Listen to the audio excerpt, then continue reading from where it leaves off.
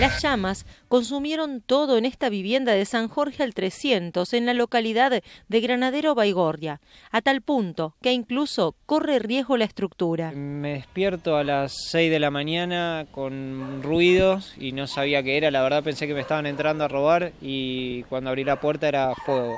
En el momento que yo lo vi era la habitación nada más, el colchón y, y lo que estaba en la habitación, pero acá la verdad los bomberos vinieron tarde, un solo bombero con un camión muy chiquito, con poca capacidad de agua, a los cinco minutos se quedó sin agua.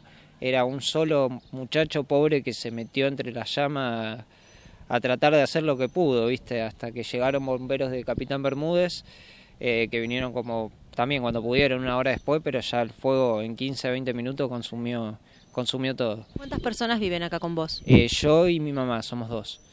Bien, y contanos, eh, cuando bueno lograste salir, después te pudieron decir los bomberos por qué se inició el fuego. No, no saben, no pudieron saber. Lo que imaginamos es que fue un cortocircuito. A lo mejor, eh, no sé, también me dijeron los vecinos que en la madrugada se estuvo cortando la luz y volvía a lo mejor haya sido eso, pero otra cosa no, porque empezó en una habitación, o sea, no había ni calefón, ni estufa, ni nada de gas tampoco, así que fue seguramente algún problema eléctrico. Me dijeron que no puedo entrar más porque hay riesgo de que, de que se caiga el techo. O sea, perdiste la casa. Sí, sí, la verdad que sí.